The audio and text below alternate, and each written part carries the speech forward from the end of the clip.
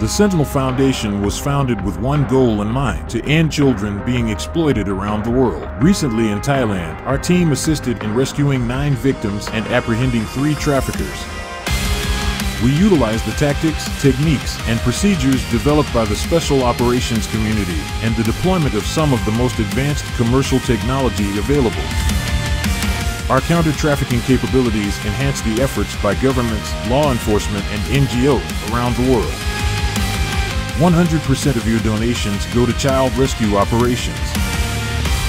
Join the fight and help us end child sex trafficking.